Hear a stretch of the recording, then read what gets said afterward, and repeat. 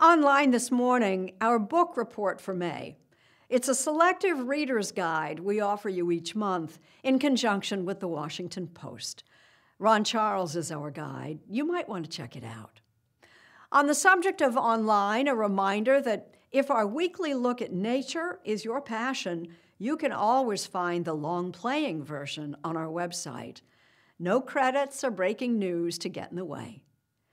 And finally, we pause a moment for a Mother's Day salute to the birth of Haley Sylvia Hudson, the daughter of producer Mark Hudspeth and Dana Karen. Weighing in at 7 pounds 4 ounces and 19 inches long, Haley is a welcome addition to our Sunday morning family. And we'll be right back.